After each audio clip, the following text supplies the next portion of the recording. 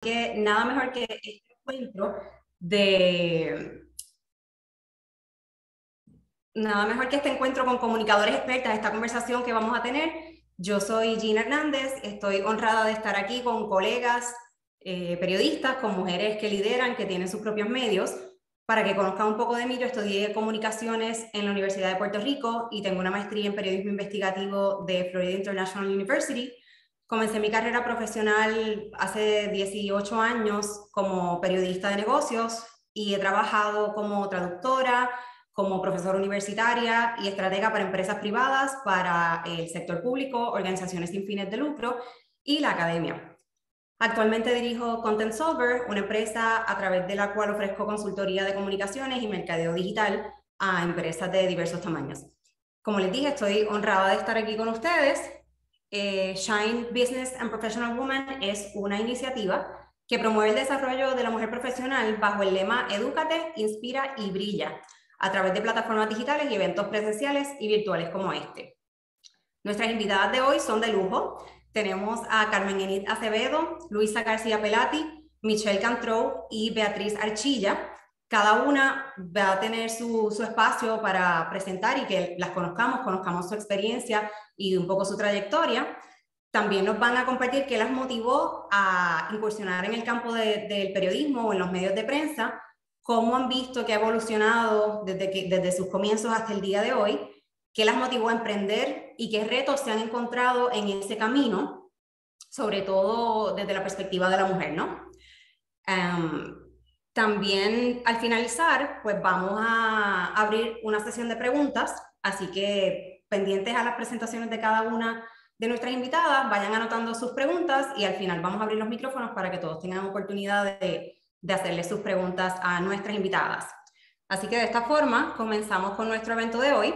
La primera invitada que va a hablar con nosotros es Carmen Enid Acevedo. Ella es fundadora de Bonita Radio. Nació en 1964 en San Juan de Puerto Rico y se crió en la tercera extensión de Country Club en Carolina. Se educó en la escuela pública y en la Universidad de Puerto Rico en Río Piedras, en la cual obtuvo un bachillerato y una maestría en periodismo. Tiene 30 años de experiencia en el mundo de los medios de comunicación en Puerto Rico, prensa escrita y radio, que hoy constituyen medios multimedios digitales. Su trabajo periodístico se especializó en la cobertura diaria de sucesos policíacos y la cobertura de salas judiciales en el escenario nacional y el de la Corte de Estados Unidos en Puerto Rico, en el 2001 descubrió que el exsecretario del Departamento de Educación, Víctor Fajardo, era el líder de un esquema para solicitar sobornos a contratistas de la agencia para subvencionar la campaña política del 1996. Fue un caso muy sonado, ¿cómo olvidarlo? Así que vamos a comenzar con ella.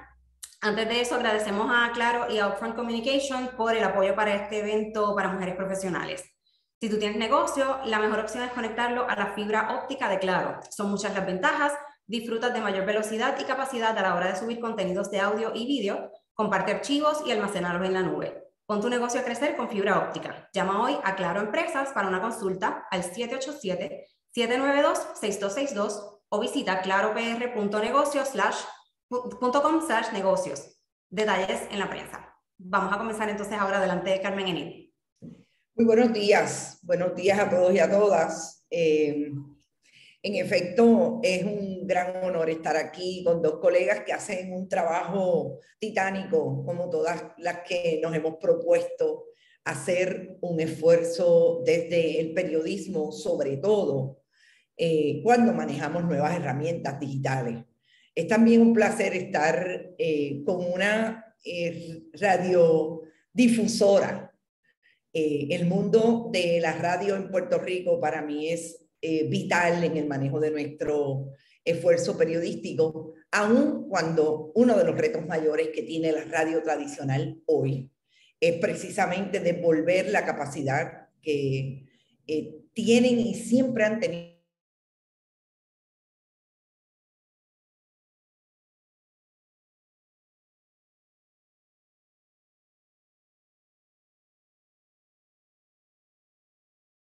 este momento. Así que me parece que sí, que somos eh, ese panel que tiene mucho de qué hablar de nuestras diferentes experiencias.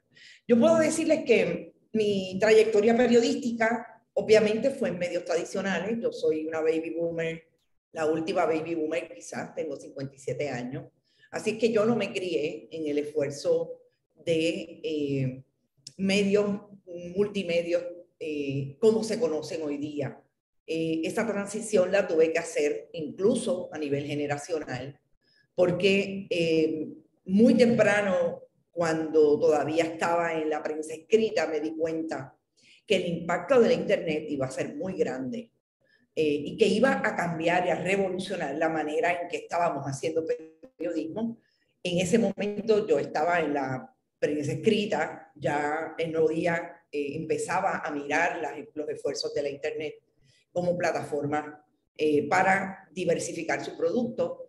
Y más tarde, cuando salí, eh, entré en algún programa de la radio tradicional y ya estaba metida la Internet en todos los sentidos, pero la radio tradicional, desde mi punto de vista, ha sido bastante lenta moviéndose hacia lo que son los nuevos, las nuevas formas de comunicación y sobre todo las nuevas maneras de hacer periodismo.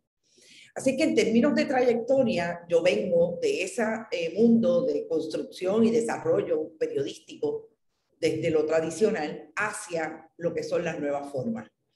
La motivación para mí de ser periodista eh, empezó bien temprano en la vida. Yo creo que es un asunto de personalidad, pero sobre todo también de que yo me crié en una familia que casi todo el mundo eh, tenía bien claro, bien claro hacia dónde iba, pero siempre había un matriarca o un patriarca, en el caso mío, mi padre, que pretendía que yo estudiara ciencia, que era lo que él habría querido estudiar.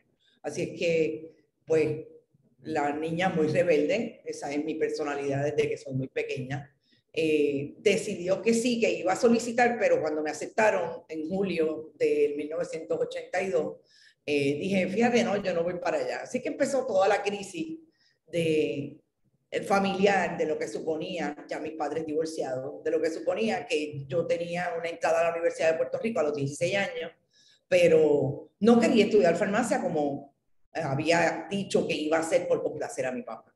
Así que en ese momento, miren, era bien claro que yo iba a estudiar humanidades, que yo iba a hacer un esfuerzo diferente y ya la escuela de comunicación, eh, que se conocía en aquel momento como escuela de comunicación pública, estaba muy eh, desarrollada a partir de los años 70 eh, con el esfuerzo sobre todo de periodismo. Así que pues a donde iba la muchacha, claro, a donde yo creía que yo podía hacer un trabajo.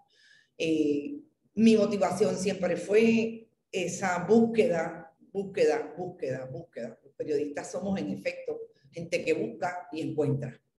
Eh, y muy temprano también decidí que yo iba a ser una periodista que aún en ese mundo tradicional donde estábamos viviendo periódicos, radio y televisión, eh, yo quería hacer algo más que la cobertura diaria.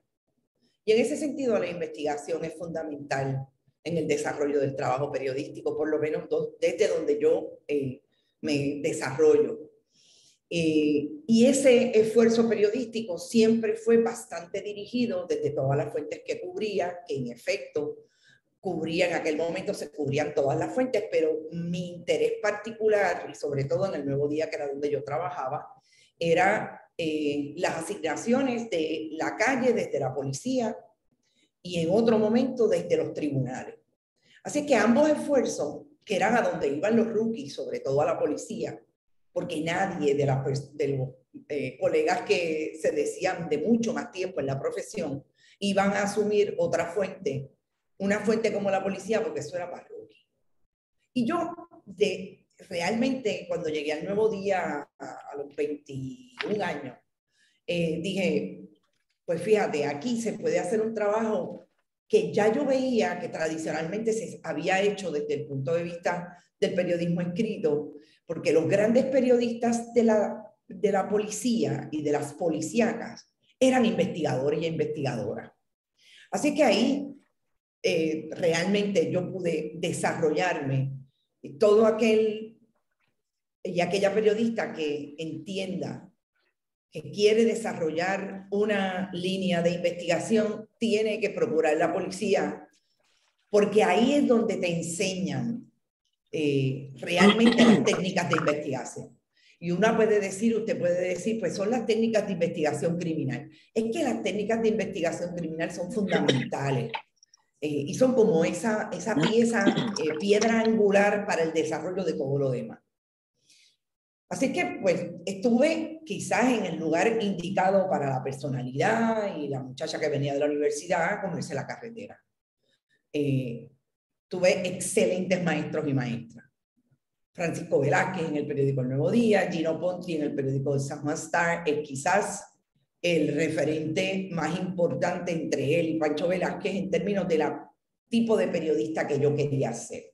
¿verdad? Seguir descubriendo y seguir procurando que el periódico en ese momento tuviera la información que nadie iba a tener porque yo me iba a acercar de una manera distinta y de profundidad y de investigación a esa noticia que tenía de frente. Todo el mundo tiene siempre el mismo muerto. Todas las portadas pueden ser la misma historia en términos de que el suceso más importante del día es ese. Pero lo que diferencia el periodismo entre uno y otro esfuerzo es lo que usted tenga diferente. Es lo que usted tenga que pueda dar la capacidad a las audiencias para que las audiencias sigan moviéndose y y planteen que usted eh, o el medio suyo es el medio que tiene mayor capacidad de llegar con otra información. Así que eso para descartar un poco la primera y segunda pregunta en términos de trayectoria. ¿Cómo yo llegué aquí? Yo llegué aquí en eh, el esfuerzo multimedio que, vuelvo y repito, no soy de la generación del chip digital. Pero yo me di cuenta que definitivamente las fuerzas del mundo económico, las fuerzas del de el desarrollo de, los nuevos, de la nueva economía global, iban a dirigir el esfuerzo tecnológico por una línea que no había marcha atrás. Y si eso era así, si yo no me insertaba, pues definitivamente no iba a poder. Yo estaba haciendo en ese momento, en el 2011, un esfuerzo de comunicación que precisamente partiendo del de mi desarrollo como periodista de investigación, que era un esfuerzo de manejo de crisis, sobre todo en casos legales. Así es que yo estaba fuera, pero ya había tenido la experiencia de radio, creía que aun cuando los periódicos estaban ya digitalizados y estaban haciendo el esfuerzo de manejar la Internet, la radio también debía montarse ahí. Y fue el esfuerzo y el ejemplo que nos dieron los estudiantes de la Universidad de Puerto Rico en Radio Huelga a partir del 2009-2010, que cuando yo me voy del programa que tenía a nivel de la radio tradicional, pues decido, yo creo que por aquí es que van los tiros y esto hay que hacerlo. Y creé Bonita Radio con la idea de crear un producto que pudiera diversificar eh, los contenidos, ¿verdad? Que, que tuviera cultura, que tuviera música, que tuviera periodismo de alguna manera, pero yo no me podía dedicar al esfuerzo periodístico propiamente. Luisa García Pelati fue una de las famosas frases de Bill Clinton relacionado a los asuntos de la economía. Eh, y habían diferentes programas. El proyecto periodístico no era un un pilar de Bonita Radio en principio, porque yo no podía hacerlo y obviamente Puerto Rico tiene muy pocos medios y los compañeros tienen que, obviamente todo el mundo quiere cobrar y pues era un esfuerzo autogestionado que no había manera. Así que hicimos unos intentos, venta de anuncios, etcétera, pero ustedes saben que la internet realmente ahora es que tiene una visibilidad que podríamos decir que los oficiadores están mirando y todavía nos da mucho trabajo.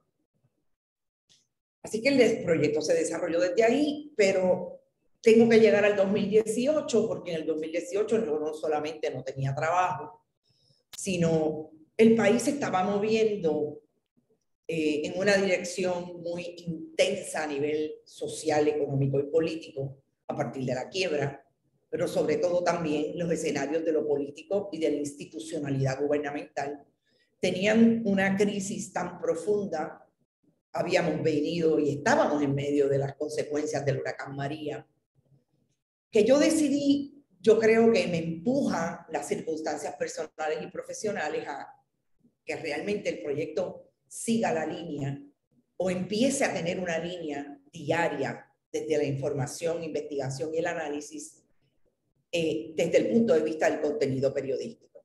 Así que empecé a ensayar lo que eran diferentes programas, eh, ver eh, cómo yo podía traer la información para ajustarla al multimedio, página web, eh, redes sociales, pero también todas las demás redes en términos de donde se colocan los podcasts, donde se colocan los videos, YouTube, etc.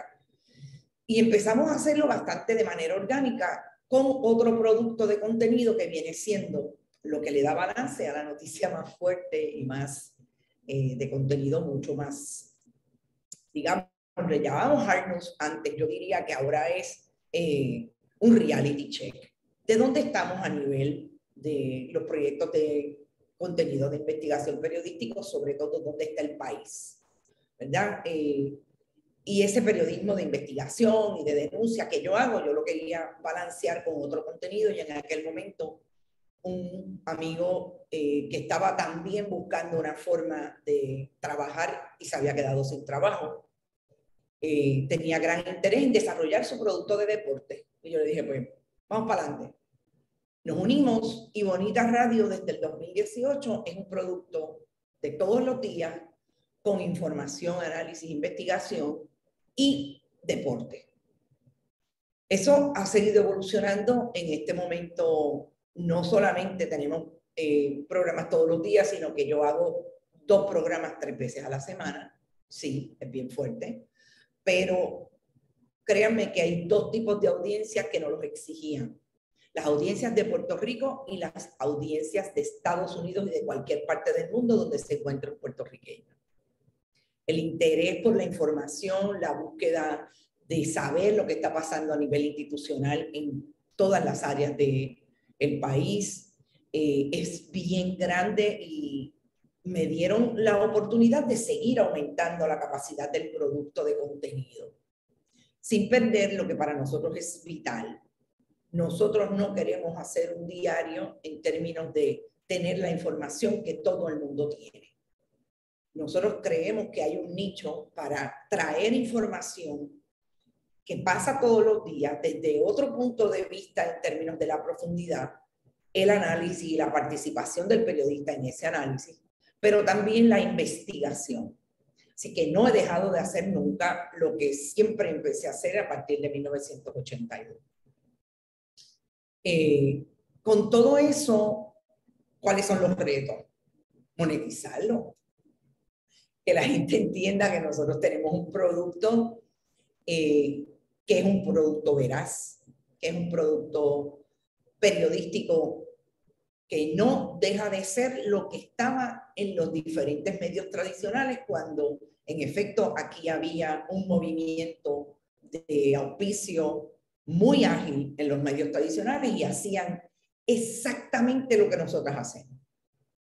Eh, desde el punto de vista de Bonita Radio, la, la comunicación o por lo menos el feedback, la retroalimentación que nos pueden dar algunos auspiciadores o o el mundo de la publicidad, no necesariamente agencia, pero cómo se corre ese mundo en sus diferentes escenarios, eh, es el contenido. Hace muchos años que Puerto Rico dejó de tener un contenido en términos de medios de comunicación que trajera conversación desde el periodismo.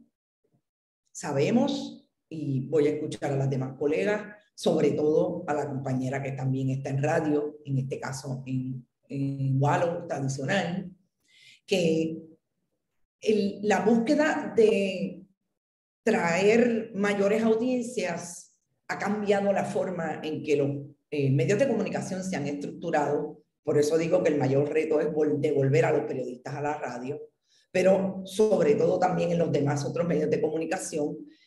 parecería que hay una búsqueda de informaciones mucho más livianas que no se traduzcan desde el punto de vista periodístico y pasen más hacia el área de entretenimiento. Eh, eso hace ha hecho, por lo menos en los últimos 20, 25 años, que la búsqueda del auspicio cambie también la fórmula, pero sobre todo la manera en que la Internet ha traído lo que son las figuras de los influencers versus los periodistas propiamente.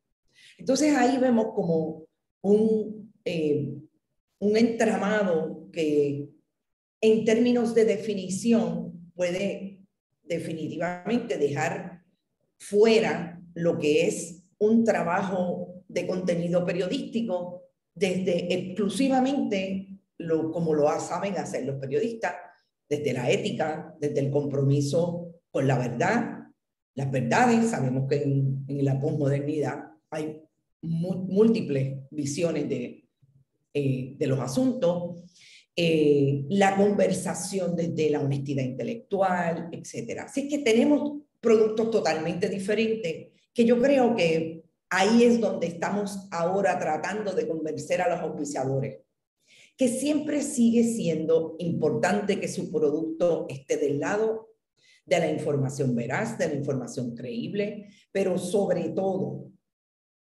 desde un plano que el periodismo siempre sabe traer, que es información eh, que no solamente se obtiene bajo esos fundamentos éticos, sino que comparte un compromiso con el país en el sistema democrático. No por algo y no por mucho nos dicen que somos el cuarto poder. Porque realmente el sistema democrático lo que trata es que haya balance entre los poderes. Y los periodistas, las periodistas y los periodistas eh, construimos y desarrollamos productos de contenido que, es, que le dé base y sobre todo fondo a ese eh, principio democrático. Así que yo creo que ahí es el mayor reto, que entendamos que en efecto este tipo de producto produce un nivel de conversación con la audiencia cada vez es mucho más grande. Yo les puedo decir que los números de Bonita Radio el año pasado fueron sobre 10.4 millones de personas contactando el esfuerzo de eh, audiencias audio y audiencias visuales. Ni les cuento el nivel de eh, porcentaje en términos de el compromiso, eh, engagement, shares, etcétera, reach, sobre un 52% entre unos y otros productos. Es bien alto, la gente se está educando por aquí. Pues si la gente se está educando por aquí, si la gente se está entreteniendo por aquí, nosotros no solamente ahora tenemos sola el producto de, de contenido eh, hard news, sino que tenemos otros contenidos. Si los públicos quieren seguir escuchando y mirando a los periodistas en acción, pues me parece que el, la conclusión sería más fácil para aquellos que manejan todo el asunto de dónde ponen sus productos para exponerlos a las audiencias, que debería estar definitivamente en parte en estos esfuerzos digitales. Pero sobre todo, y yo con esto creo que debo de concluir, eh, yo creo que, que nuestro país necesita un periodismo mucho más fuerte, un periodismo que, que realmente tenga la capacidad para lo que siempre ha hecho en otras décadas, eh, de exponer lo que pasa independientemente, nos toquen fibras eh, terribles o no. Eh, los periodistas y las periodistas hacemos un trabajo que sustituye la capacidad que pueda tener un ciudadano o una ciudadana en el país democrático de acceder a, los, a las fuentes de poder. Nosotros somos ese, ese enlace entre el país, el pueblo y las instituciones y el poder que tiene que hacer la pregunta, que tiene que hacer para que esos otros que tienen derecho a saber se enteren. Así que yo creo que es súper importante que estemos. Me parece que los esfuerzos independientes no solamente son de esta que estamos aquí, son muchos. La radio sigue haciendo un trabajo brutal desde el punto de vista tradicional, con todos los retos que supone en términos económicos igualmente. y también es un esfuerzo que debería proponer mucho más periodismo. Yo creo que con eso estoy. Gracias, Carmen Enid. Eh, muchos puntos interesantes, estoy tomando notas para el final, ¿verdad? Tener una conversación aquí colaborativa. En el chat están haciendo ya también las preguntas. Los invitamos a que continúen haciendo sus preguntas a través del chat, las vamos a anotar y al final entonces vamos a abrir el micrófono para, para ¿verdad? tener esta conversación con todas las invitadas de hoy. Nuestra próxima invitada es Luisa García Pelati. Ella es periodista y economista, es fundadora del medio Cinco Millas, posee un bachillerato y una maestría en economía de la Universidad de Puerto Rico y cuenta con más de 20 años de experiencia en el campo. En el 2010 fundó el medio Cinco Millas y eh, está trabajando, enfocándose en un diario digital de noticias de economía y de negocios. Adelante, Luisa.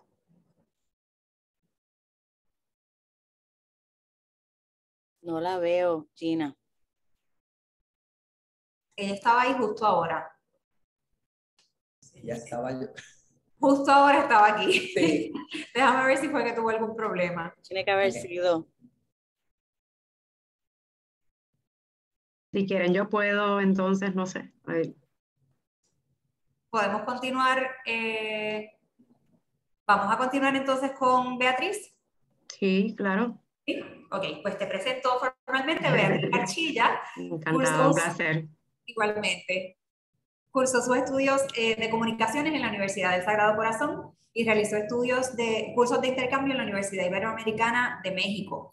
Desde el año 2003 se desempeña como periodista, presidenta y gerente general de Walo Radio Oriental, siendo la tercera generación de la familia en la industria de la radiodifusión. Actualmente forma parte de la Junta de Directores de la Asociación de, de Radiodifusores, me trabé con esa palabra, Radiodifusores. Radiodifusores. Um, y esta entidad le otorgó el premio de pres- del presidente en el año 2017 y fungió en esta organización como la primera mujer vicepresidenta en el 2019.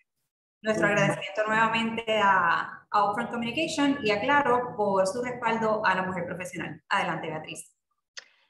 Buenos días a todas. Eh, antes que todo, mi agradecimiento a Lourdes Burgos y a Shine Business and Professional Woman por prestar esta servidora para pa- eh, participar de este foro junto a otras mujeres que desempeñan un rol súper importante en el ámbito del periodismo y en mi caso de la administración de los medios de comunicación. Como ya previamente me habían presentado, mi nombre es Beatriz Archilla, yo soy presidenta y gerente general de Wallo Radio Oriental en Humacao. Vengo, una, vengo de una familia de radiodifusores. Eh, soy la tercera de generación en mi familia en la industria de la radio. Mi abuelo Efraín Archilla Roy y mi padre Efraín Archilla Díez, que pan descanses, ambos, ambos fueron propietarios de emisoras de radio en Puerto Rico y en la Florida, donde para la década eh, de los años 70 también establecieron eh, las primeras emisoras de habla hispana en los Estados Unidos, para allá, para en Tampa y, y Orlando. Así que nací y me crié en el mundo de la radiodifusión, eh, de la radiodifusión despertando en mí un interés en el medio y motivándome a estudiar comunicaciones en la Universidad del Sagrado Corazón y en la Universidad Iberi- Iberoamericana en México eh, a través de un programa de intercambio. De hecho, mi primera experiencia laboral fue en el mundo de las comunicaciones. En el mundo de las comunicaciones fue en una agencia de publicidad, Grey México. Y luego al regresar a Puerto Rico me reclutó Oriental Bank en su departamento de publicidad y mercadeo. Pues entonces, cuando luego de estas experiencias, la familia delegó en mí la administración de Wallo Radio. ¿Con qué me encontré en el 2003 cuando llegué a Wallo a los 25 años de edad? Bueno, antes que todo, Wallo es una emisora de radio noticiosa regional establecida en Humacao desde el 1958.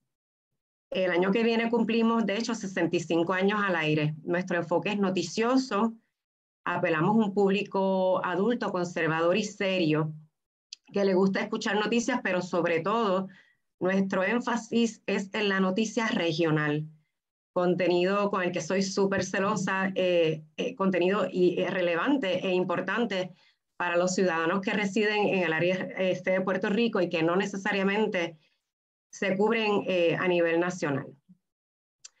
Así que llegué a One en el 2003, cuando apenas estaba comenzando esto de la digitalización y las famosas redes sociales. Me tocó parte eh, de ser, me tocó ser parte de esa evolución del medio de mini discs, CDs y logs manuales de toda la programación a adquirir computadoras más modernas y los programas necesarios para que la música, anuncios, cues y demás programación estuviera y se trabajara de manera digital.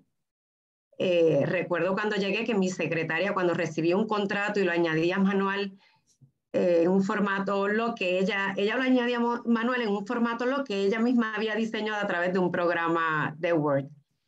También recuerdo eh, ver que los estudios de control se, estaban llenos de racks y de minidiscs y ver cómo los muchachos de producción editaban esos anuncios con, con minidiscs, que era súper complicado. Eh, un par de años después eh, de estar en la emisora llegó el famoso audio streaming y video streaming.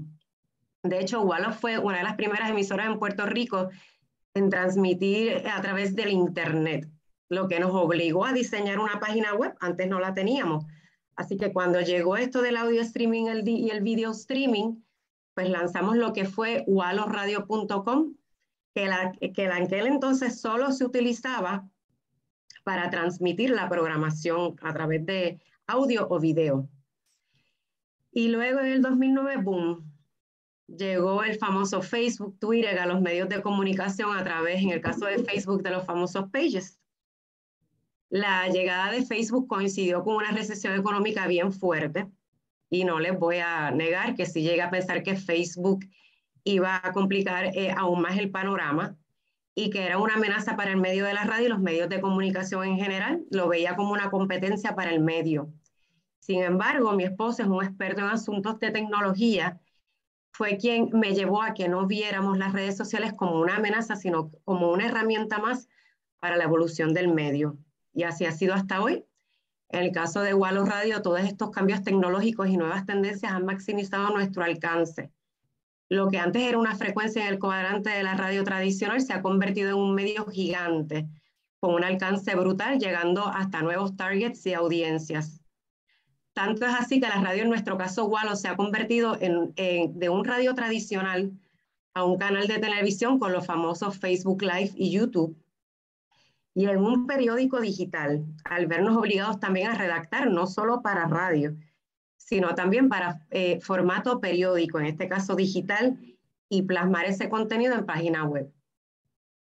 Así que esto me llevó a aprender eh, a vender más allá de una cuña de 30 segundos o un programa de una hora. Estos cambios y comportamientos en el mercado me obligaron a trabajar un, tarifario no solamente para publicaciones en Facebook, sino que también un tarifario para web y entrando así y sin planificarlo, pues al mundo del diseño gráfico, la, la, fotografía, la edición de video y no solo eso, sino que estos cambios también nos obligaron a, remodelar las facilidades de, de, manera que fueran atractivas para las personas que nos seguían a través de los Facebook Live y los YouTube. Para que tengan una idea, antes un productor de noticias de radio redactaba solo para radio y ahí terminaba el proceso de, elaboración de una noticia.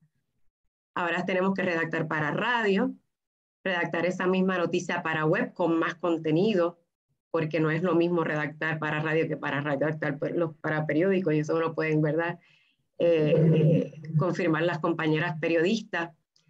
Entrar a un servidor web, transcribir ese contenido y publicar con foto, audio y video para luego adaptar esa noticia a los diferentes formatos de las redes sociales, entiéndase Twitter, Instagram y web, que cada cual pues tiene su, su formato. En fin, me han tocado unos años de muchos retos y cambios en la industria de la radio. En el proceso, precisamente entre el 2008 y el 2009, perdí a mi abuelo y a mi padre en, en un periodo de año y medio. Y con Facebook llegaron también mis dos hijos, se podrán imaginar, crisis económica en su máxima expresión, pérdida de mi padre y de mi abuelo, que eran mis guías, embarazada de, de mi primera hija y tratando de hacer las fases con, con nuestro amigo, nuestro amigo Facebook. Así que definitivamente me han tocado muchos sombreros a la vez, años difíciles, no solo de crisis económicas, huracanes, terremotos, pandemias, en las que no voy a abundar porque ya todos conocemos la historia, pero Seguro historias y sucesos que han demostrado la fuerza y la versatilidad e importancia de la radio, sobre todo tras el paso del huracán María. Por lo menos en Macao, lo único que estaba vivo era la radio, lo único que sobrevivió fue el medio de la radio. En el caso de Walo, eh, se convirtió en alcaldía, en oficina de manejo de emergencia, en hospital, en farmacia, en la única herramienta de comunicación ante una catástrofe. ¿Cuáles son los retos? Adaptarnos a las tendencias, eh, recibirlas como nuevas maneras de consumo, porque mientras haya necesidad de información y el medio produzca contenido relevante para la región que sirve, vamos a hacer una opción para el consumidor. Sobre todo los medios regionales tenemos la enorme ventaja de satisfacción que buscan lo que sucede en su pueblo, en su barrio o en su comunidad, independientemente de los, del periodismo ciudadano y de los influencers, que está bien, son tendencias, sin embargo, los medios formales ofrecen esa objetividad y seriedad periodística que, que continúa siendo valorada por segmentos de la población que desconfían de la credibilidad muchas veces sin criterios profesionales que encontramos en las redes sociales. En fin, hay que seguir educándonos, adaptándonos a los ritmos tecnológicos. Esta servidora se, ha mantenido activa en la Asociación de Radiodifusores de Puerto Rico. En el 2018 me convertí en la primera mujer vicepresidenta de la, de la asociación, una industria eh, liderada por hombres. Actualmente sigo en la Junta de Directores, me mantengo activa en otras asociaciones y organizaciones que no solamente apoyan el empresarismo local, sino que nos capacitan y nos, eh, ¿verdad? nos, nos informan sobre nuevas tendencias. Así que eh, concluyó mi presentación eh, para recordarles que la primera red social en la historia de la, de la humanidad fue la radio.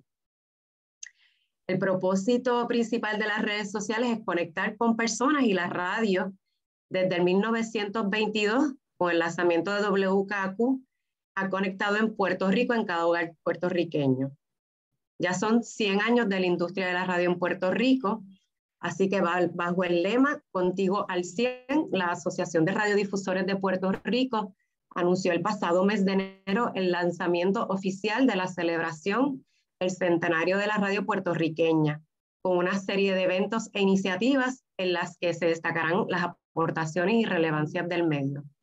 Entre los eventos se llevará a cabo el radio show, eh, a la que aprovecho la oportunidad para invitarla. Se va a llevar a cabo el viernes, eh, este viernes no el próximo, el viernes 20 eh, de mayo, en el Embassy Suites de Isla Verdad. Así que las espero allá.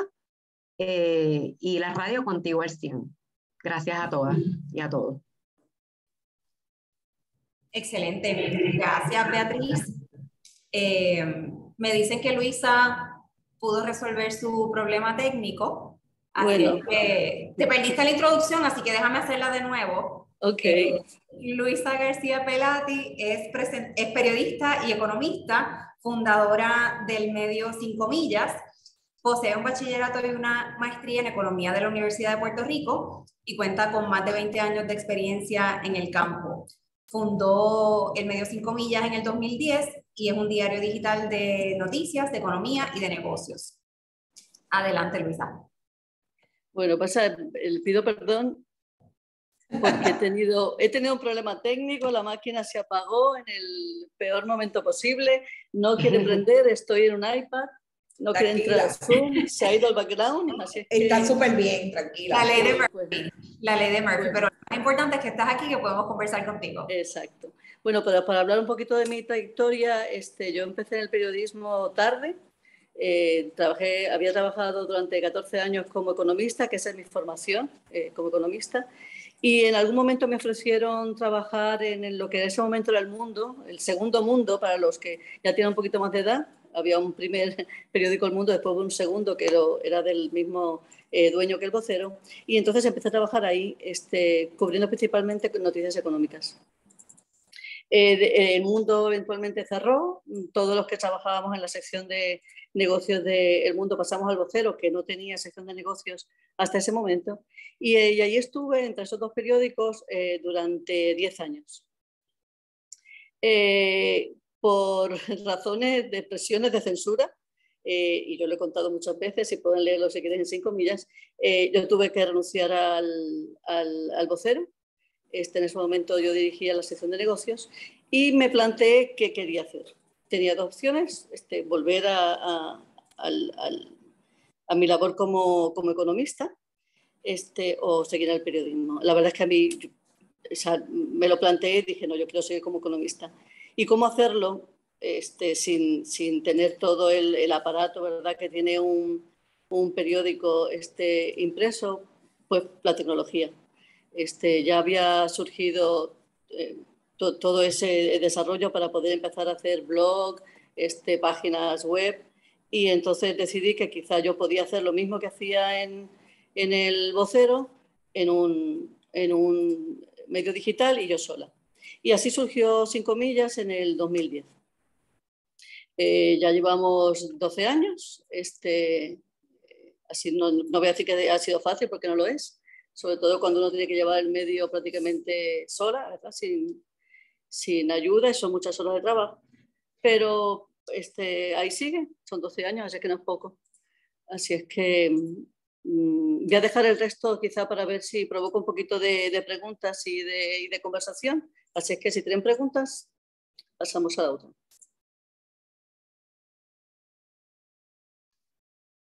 A ver, en, eso, yo te voy a hacer una pregunta y luego entonces pasamos con la próxima presentación y, finalmente entonces abrimos para, para, todos. Pero quería entonces preguntarte cuando hablas de, de ese tema de, de, censura, ¿no? ¿Cómo tú ves o cómo, cómo esa transición y la nueva plataforma, hacerlo tú misma, te ha dado esa libertad de, de no autocensurarte y quizá el contenido que generas pues es más, eh, más creíble, más confiable. Eh, cuéntame un poquito de eso, por favor.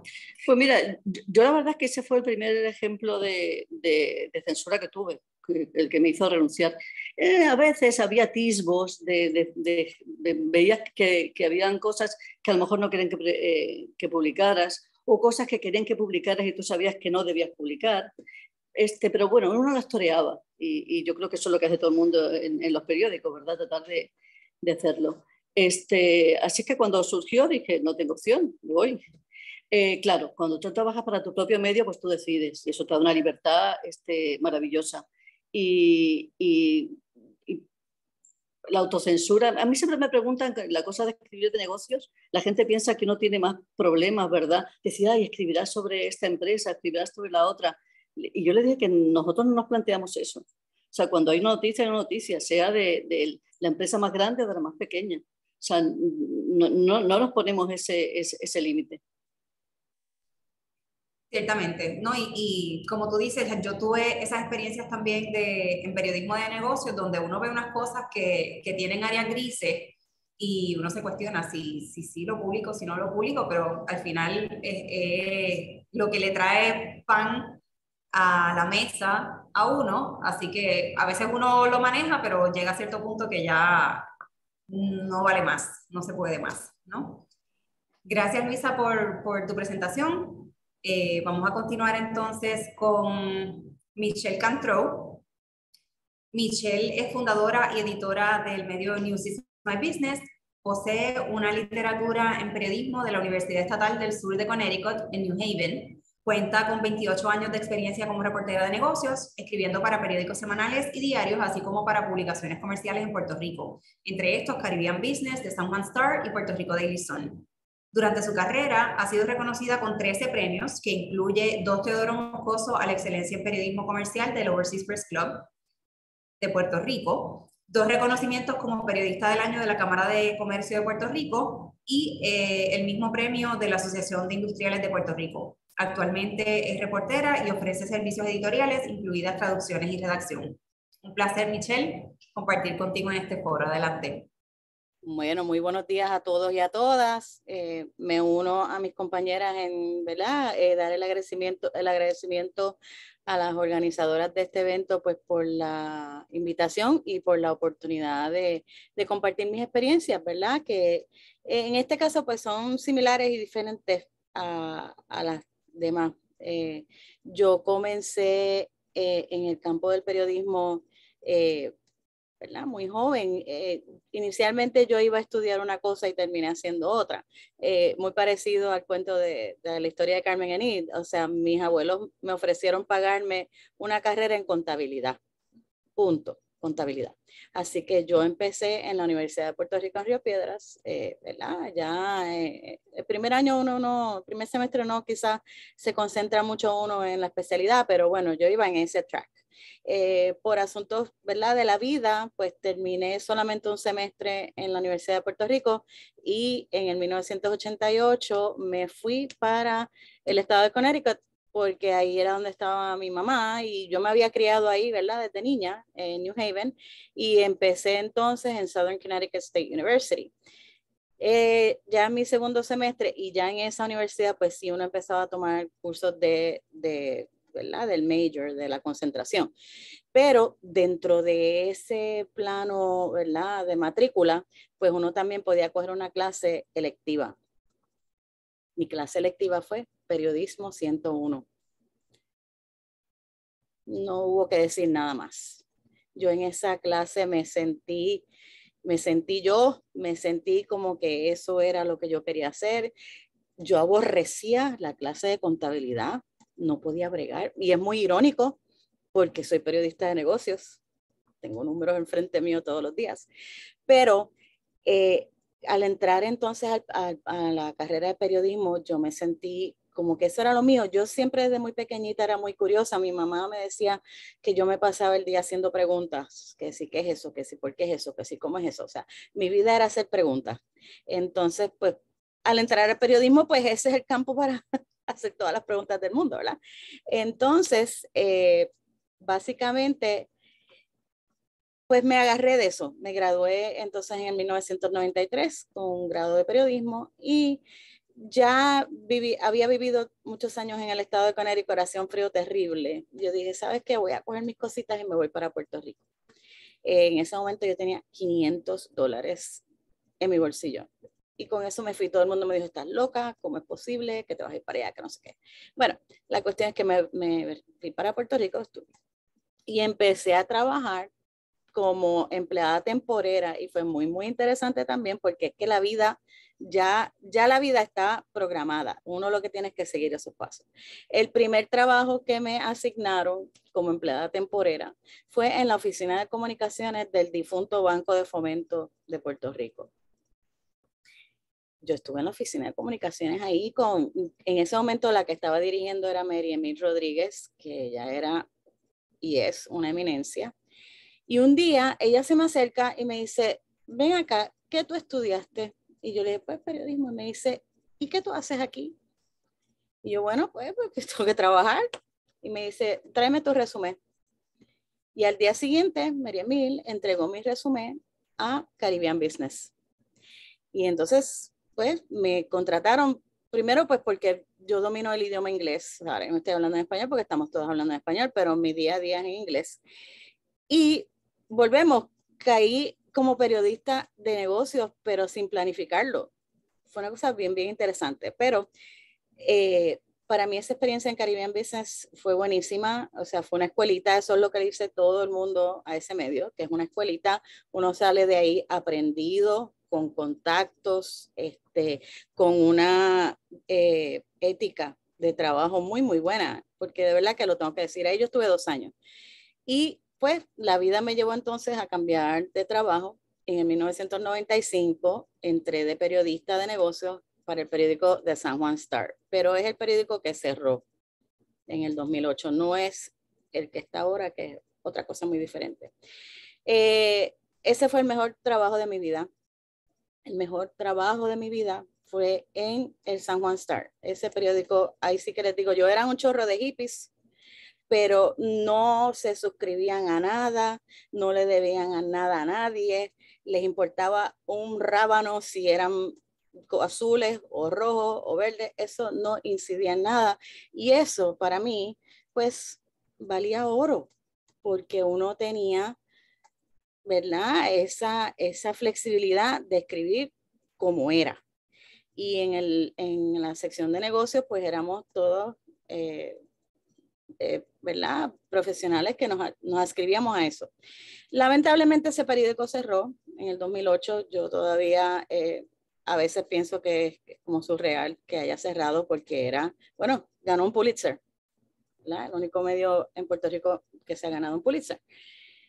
Y de ahí entonces, cuando ese cierre surgió, pues eh, nos quedamos en la calle, literalmente nos quedamos en la calle de un día para otro. Se veía venir, como dice en inglés, the writing was on the wall. O sea, fue una, un, desangrado muy triste lo que pasó ahí económicamente con ese periódico y cerró. Pero ¿qué pasa? Que entonces los que nos quedamos sin trabajo todavía, todavía éramos, pertenecíamos a una unión en ese momento. Eh, y entonces pues decidimos entre todos nosotros formar una cooperativa cada cual puso un poquito de dinero, la unión ayudó y abrimos otro medio que se llamó el eh, Puerto Rico Daily Sun. Ese medio, pues lamentablemente no duró mucho, o por lo menos yo no estuve todo el tiempo que el, que el medio estuvo abierto, pero sí fui una de las editoras. Eh, yo era editora de negocios slash editora de redacción porque éramos muy pocos trabajando. De hecho, trabajábamos 14 horas al día, 7 días a la semana, era bien fuerte. Pero esa experiencia a mí me sirvió porque ya ahí yo estaba transicionando de lo que era el medio escrito tradicional a algo que ya se iba moviendo a redes, porque el San Juan Star nunca estuvo en red. El que era el dueño decía que si él ponía el periódico online iba a perder anunciantes en papel. O sea, él no entendía bien el concepto y la realidad es que en ese tiempo era muy diferente. O sea, estábamos hablando de los 90, así que se, le, se le excusa. Pero ya con el Daily Sun habíamos tomado la, decisión que desde el principio vamos a tener un website y vamos a subir las noticias. Y ahí a mí me sirvió esa experiencia muchísimo porque aprendí a bregar con la tecnología, ¿verdad? Online para montar un periódico. Ahí yo estuve dos años, dos años y pico. Eh, fue una experiencia muy, muy buena, pero a la misma vez pues fue drenante porque eran unas horas, pero maratónicas. Cuando decidimos irnos, porque nos fuimos un grupo grandecito, pues por cuestiones económicas y demás, yo les voy a ser bien honesta, y esto yo se lo digo a todo el mundo y todo el mundo se ríe y lo voy a compartir. Yo estuve cinco semanas acostada en mi hamaca yo cogí una sabática de cinco semanas, porque había sido el golpe del cierre del San Juan Star, había sido todo el proceso de abrir el Daily Sun y de trabajar ahí de sol a sol y siete días a la semana. Yo me acosté en mi hamaca. Que mi mamá venía a mi casa y me decía, ven acá, pero cuando tú te vas a levantar de esa hamaca. Y yo, cuando llegue el momento. Y el momento llegó, llegó y precisamente con mi amiga y colega Luisa García, en ese momento estábamos como que en situaciones paralelas, porque yo estaba haciendo cosas por ahí, hasta estaba haciendo traducciones, freelancing, qué sé yo, y ella acababa de renunciar. Y como que juntamos cabezas y dijimos, bueno, ¿verdad? Eh, queremos seguir en el periodismo. ¿Cuál es el camino? Pues como dijo ella, entrar al blog, al mundo de los blogs.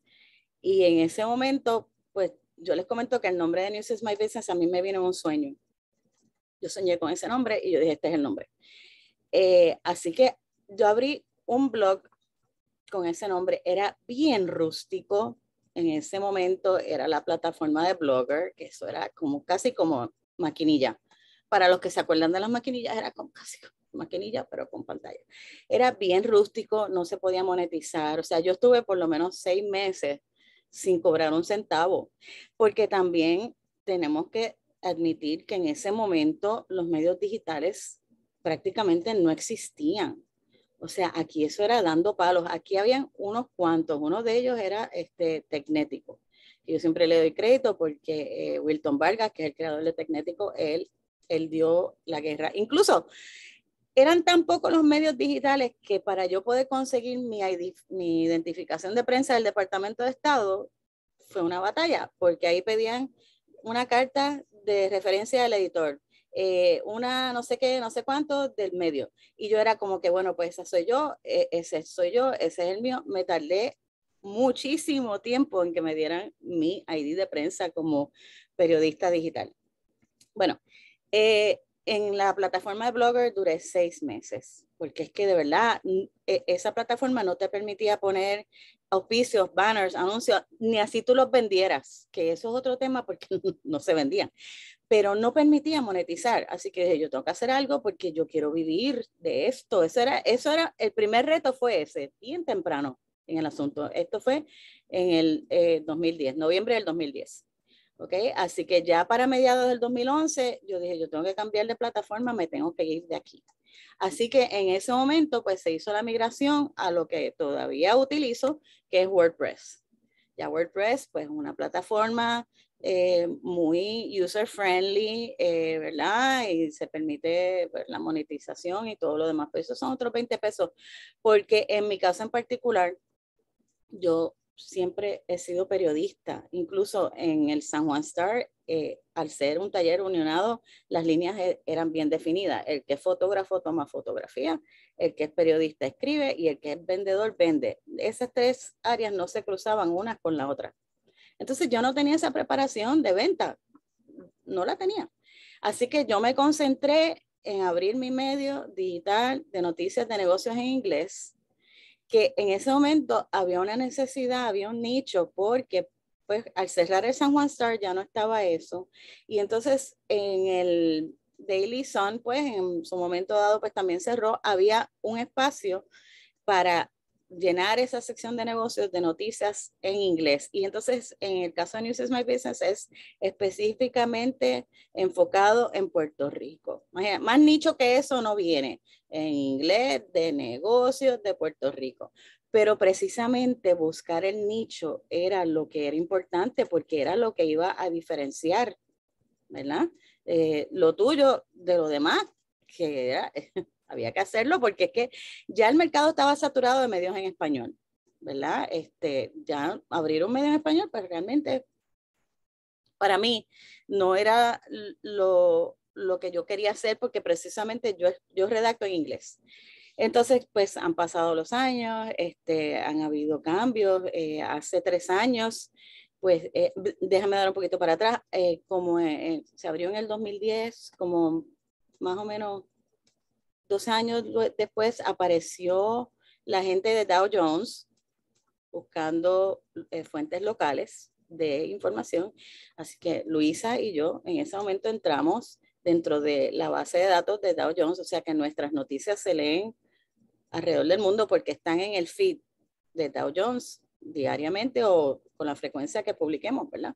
Así que eso fue el primer gran logro, ¿verdad? Eh, que tener un, un, medio digital independiente dentro de esa red de Dow Jones, que eso es prestigio total pasaron los años, seguimos eh, trabajando con todos los retos. Eh, para el huracán María, pues News is My Business fue probablemente uno de los pocos medios en inglés. Enseguida que luego del suceso, pues pudimos empezar a, a, transmitir no solamente escritos, sino que usando las redes sociales, Facebook Live y todo lo demás, mandando información en inglés para afuera, porque verdaderamente aquí nos quedamos a, oscuras.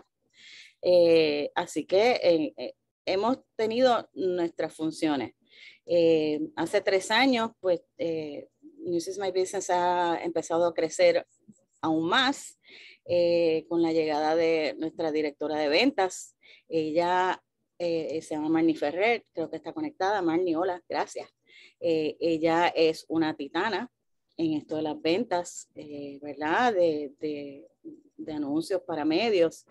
Y ella buscó la manera, ha buscado la manera con su expertise, con su conocimiento, de darle la vuelta y de, de llegar a esas agencias de publicidad, que como dijo Carmen Anit, o sea, es un reto porque pues eh, hay un mindset de que ciertos medios son los que producen, pero los medios digitales ya no son, como quien dice, no están fuera de esa, de esa definición de tradicional. O sea, yo creo que ya los medios digitales son dentro de, esa, de ese track tradicional. Incluso porque la inmediatez, o sea, tú te puedes conectar a un medio digital desde tu teléfono, desde el iPad, desde donde tú quieras. ¿okay? Así que a mí que me hagan la diferencia entre medio tradicional y digital, ya para mí eso como que no. Yo, yo no lo veo, yo no veo una división.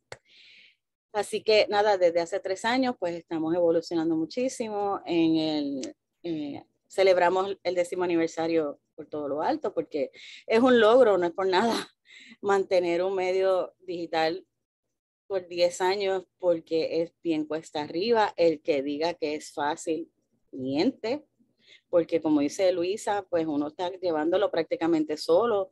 En mi caso en particular, yo he hecho muchos esfuerzos para traer, eh, ¿verdad? A mí me gusta pay it forward, como dicen. Yo he querido traer estudiantes de periodismo para que trabajen conmigo.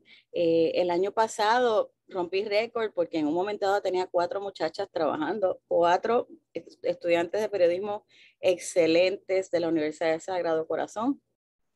Pues lamentablemente porque sus caminos, ¿verdad? Cogieron otros rumbos, pues ya eh, me quedé con una que es, mejor dicho, esa muchacha tiene un futuro brillante.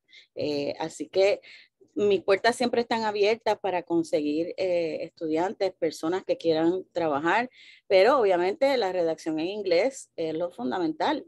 O sea, tú no puedes venir y, eh, picotear el, idioma porque eso no es lo que nosotros necesitamos. Y, más allá de eso, pues cubrir los negocios también requiere, ¿verdad? una dedicación. Esto no es como que escribirle Ricky Martin, aunque si uno escribe de negocios, puede escribir de cualquier cosa.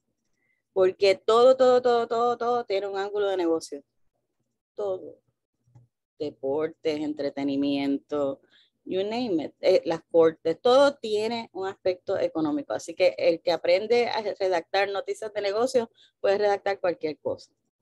Eh, pues los retos los mencioné, o sea, muchas veces monetizar es, es fuertísimo, eh, convencer a alguien que tiene ese poder decisional de decir, mira, pues sí, voy a, voy a probar a ver cómo me va. Eso es increíble, muchas veces cuando prueban se quedan eh, porque ven resultados, ¿verdad? el futuro del periodismo, olvídate del futuro, el presente del periodismo ya es digital es digital.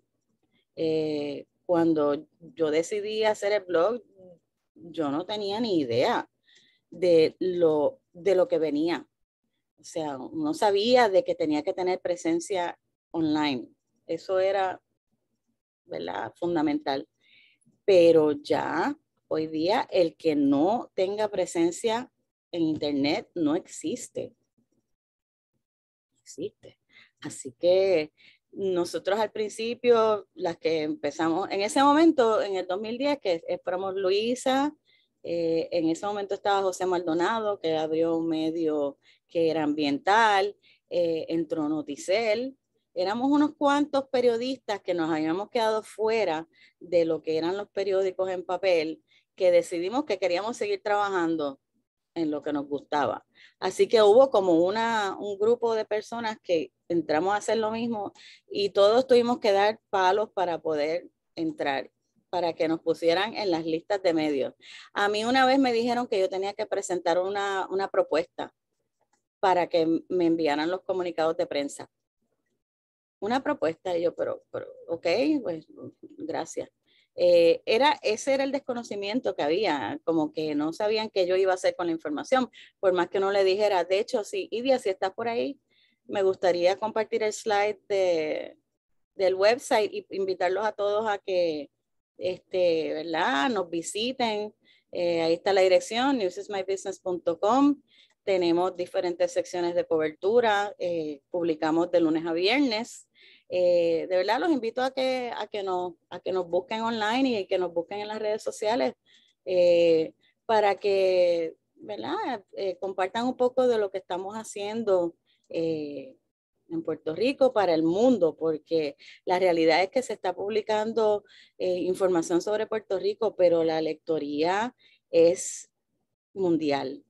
Así que también hacerlo en inglés tiene ese propósito porque al final del día, pues el idioma de los negocios es el inglés. Ahí pueden ver que tenemos, ¿verdad? Eh, auspiciadores, eh, gracias a, a, unos esfuerzos muy, muy puntuales y muy eh, buenos de parte de Marnie.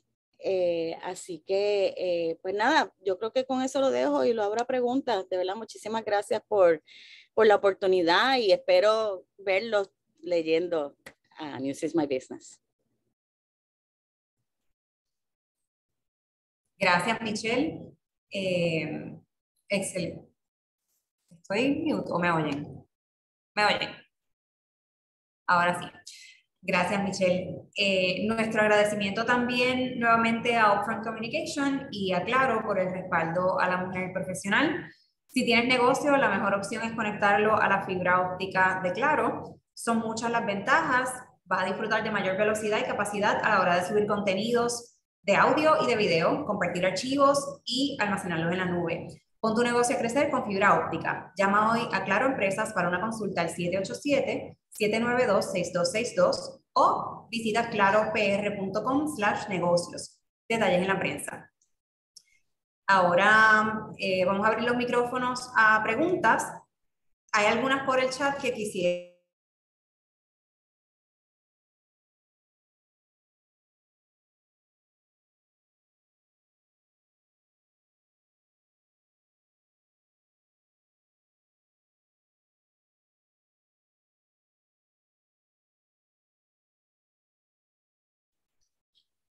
Bueno, si quieres, yo, yo puedo contestar.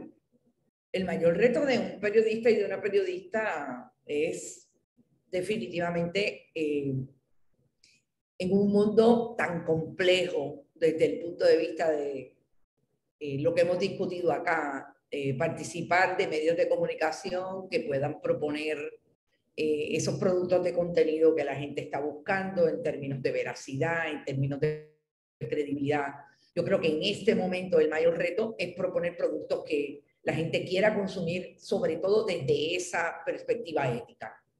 Em, pero yo lo voy a insistir. El mayor reto de un periodista hoy es encontrarse que tiene la capacidad de hacer su trabajo, desde el punto de vista de ser periodista. El ser periodista significa preguntar, significa exponerse, eh, a, pues incluso a que la gente entienda eh, que tú le caes bien o le caes mal. Eh, eso es parte del trabajo, porque no todo lo que los periodistas eh, las periodistas hablamos y discutimos públicamente son informaciones que le gustan a todo el mundo. y eso es como que siempre va a estar ahí.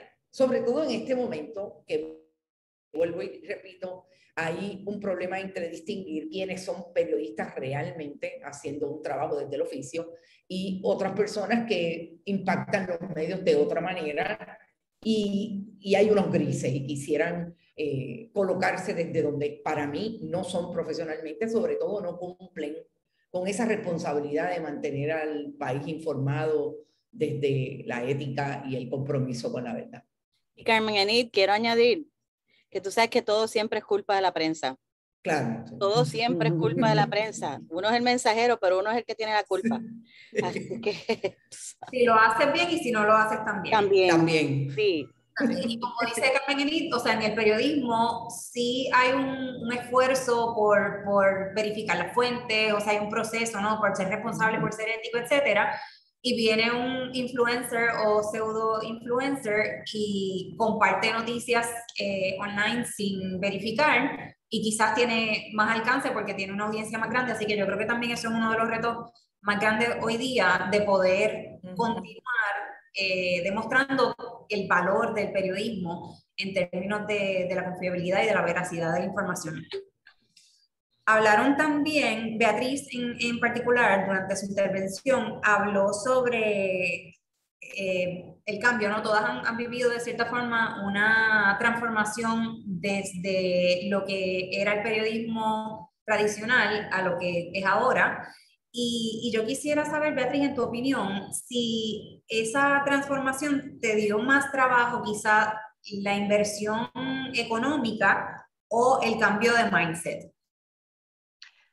Bueno, la inversión económica realmente no fue tan significativa, este, ¿verdad? Ya yo tenía el producto, como quien dice, desarrollado, la emisora ya estaba corriendo y fue eh, pues más bien adaptar, ¿verdad?, este personal a, las cosas nuevas que teníamos que hacer.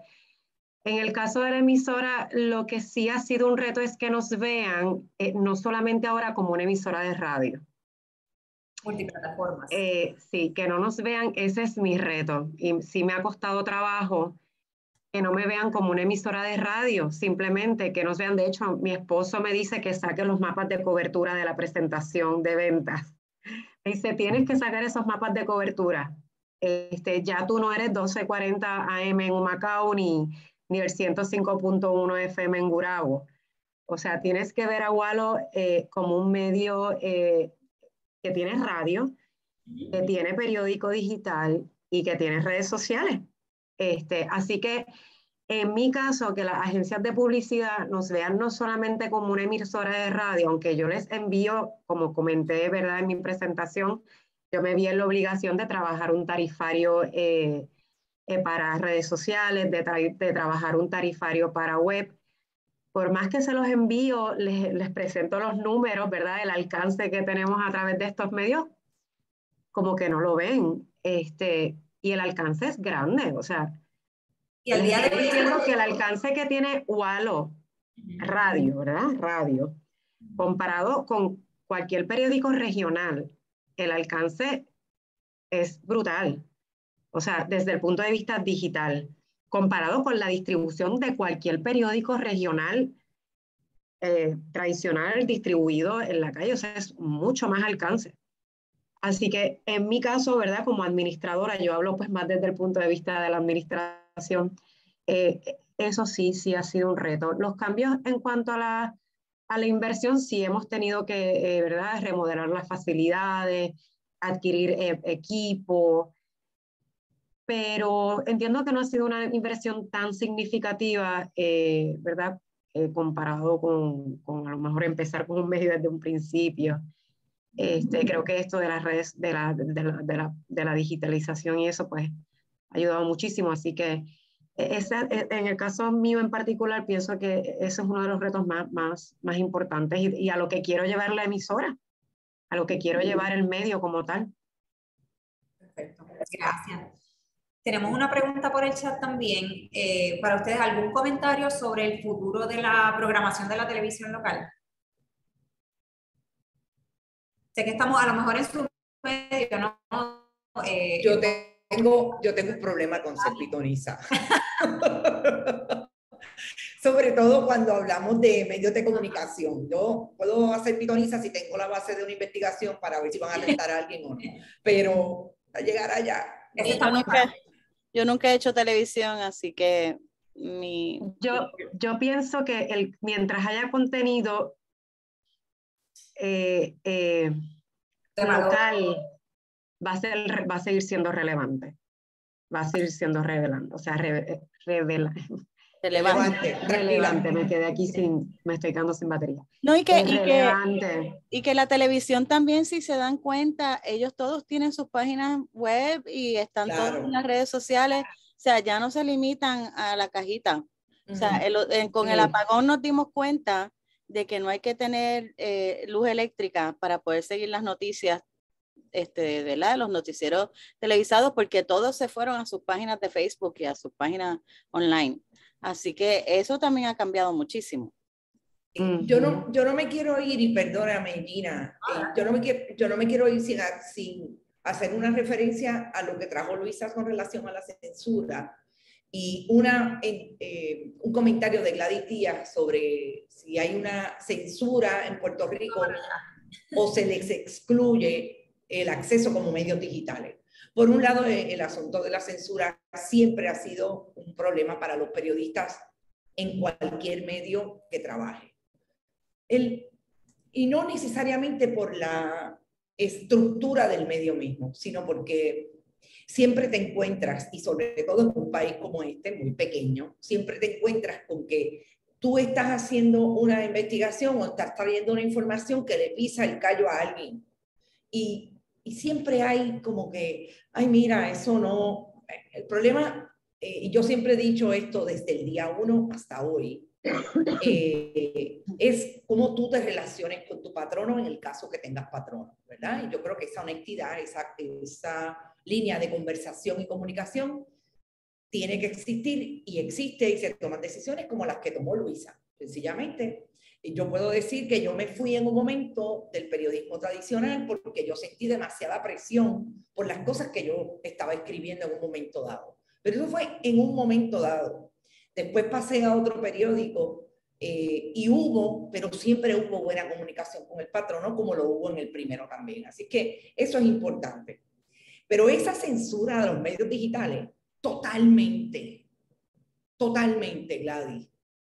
Yo te puedo decir que yo puedo llamar a la institución, a una agencia pública, con una pregunta, que yo tengo la buena costumbre de no adelantarle preguntas a nadie, eh, y no me llaman a mí, pero llaman a otro medio tradicional para contestar la pregunta que ellos creían que yo les iba a hacer. Eso es literal. Porque todavía existe la concepción desde el punto de vista de aquellos que producen contenido eh, periodístico tradicional, pero también de la gente que se asocia desde la publicidad, que eso es lo que está vendiendo. Y ahí es donde tienen, yo creo que se confrontan con una realidad cuando Barney, como dice eh, Michelle, va y le dice, pero mire, pero si ustedes, yo tengo 10 millones el, el año pasado en, en, esto y se divide de esta manera. Una cosa bien buena de los medios digitales. Nosotros no tenemos que hacer auditorías de 200 mil dólares. Nosotros tenemos todo ahí en el momento que apretemos el botón y busquemos las estadísticas. Entonces, Sí, Gladys, es eh, un problema eh, la censura y yo creo que hiciste un comentario cuando Michelle habló de la verticalidad con que trabajaban los compañeros de Someone Star y la diversidad con la que se movía de un punto ideológico a otro sin ningún problema. Eso no era solamente el Someone Star, lo vivimos en el Nuevo Día y lo vivimos en el periódico El Vocero, por lo menos cuando yo trabajé. Claro, eso cambió, ha cambiado de un tiempo esta parte. Pero es, la, es lo con lo que nosotros, para mí, no es nuevo, ¿verdad?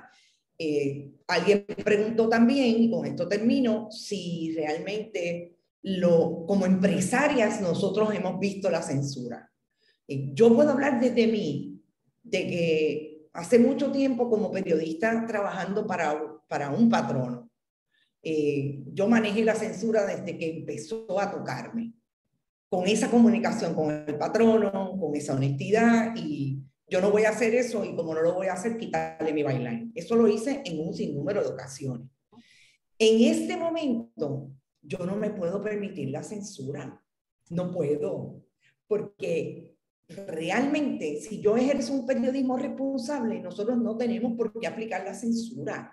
Nosotros siempre tenemos que conversar con aquel del que estamos hablando eh, yo soy celosísima de que mis investigaciones siempre tienen que estar amparadas por documentos. Todo lo que usted investiga produce un documento. Pues entonces yo no tengo prisa si yo tengo la verdad conmigo porque el documento público lo establece. Eso es también un frente bien grande para el asunto de la censura. De acuerdo, de acuerdo. Yo, yo quería eh, contestar una pregunta que, que vi en, en el chat.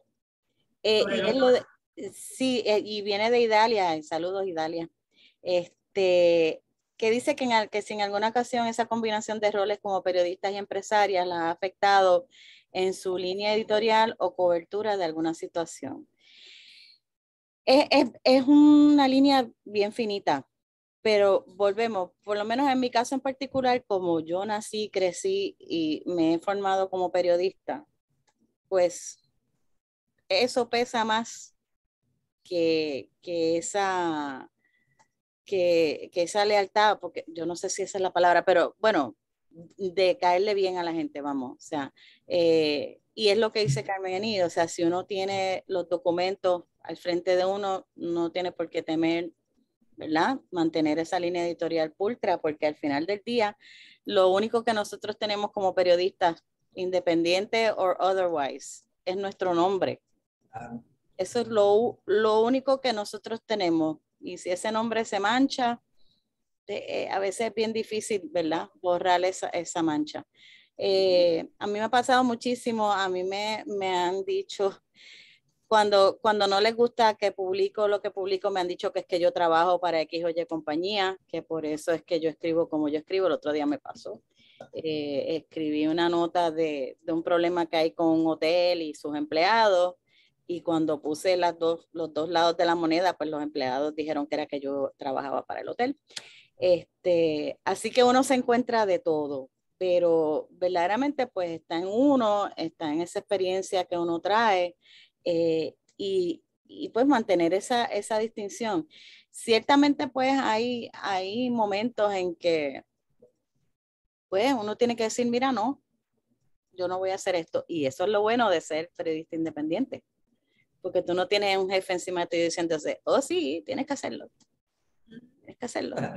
Eh, así que uno puede tomar esa decisión de que, bueno, si no es una noticia que es como quien dice earth shattering, que va a cambiar el, la dirección del universo, pues uno la puede dejar pasar, ¿verdad? Este, pero son decisiones casi día a día, yo diría, y caso a caso, por lo menos esto.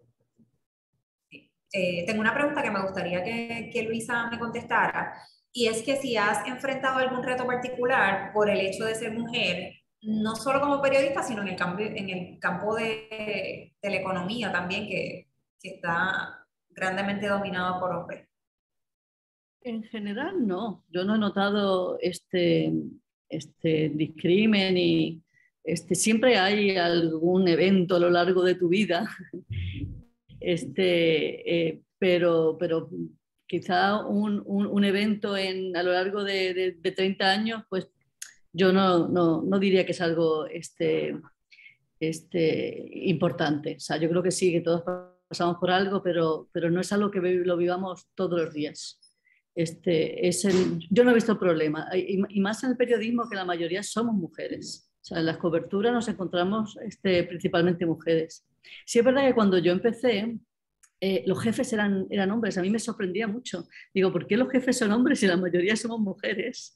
Este, claro, está el techo Precisamente por el machismo. Sí, sí, sí.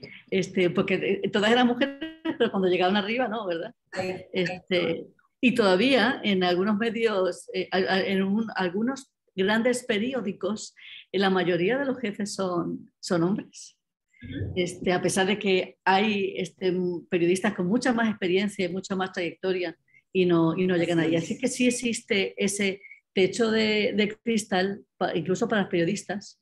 Este, pero yo creo que en general, en, en, por lo menos yo no me he encontrado con grandes problemas. A, a verlos hay, pero no, no, no, cosas que sean cosas que puedes manejar y denunciar y, bueno, y, y, y, esa diferencia también se ve, por ejemplo, en los casos recientes que hemos visto en televisión de las colegas periodistas que han demandado por diferencias en, en la estructura salarial e incluso periodistas que se han ido de medios y se han, y han brincado a otros precisamente para tener esas posiciones de liderazgo ¿verdad? Muy merecidas eh, en sus campos profesionales. O sea, sí, en ese sentido sí se ve eh, el machismo y, y, es muy irónico, como dice Luisa, o sea, en, a, tocaba a veces ir a cubrir conferencias de prensa o mesas redondas y éramos todas mujeres, especialmente cuando se cubría el área de telecomunicaciones que yo, yo fui, ¿verdad? Reportera de telecomunicaciones por un montón de años